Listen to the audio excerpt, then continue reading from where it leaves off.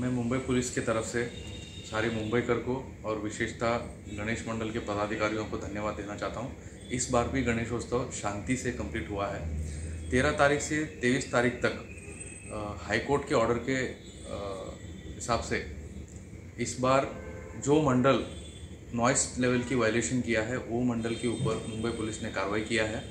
अभी तक तेरह तारीख से तेईस तारीख तक total two hundred and two, दो सौ दो केसेस अलग अलग पुलिस स्टेशन पर रजिस्टर हुआ है और इसका इन्वेस्टिगेशन रेस्पेक्टिव पुलिस स्टेशन कर रहे हैं।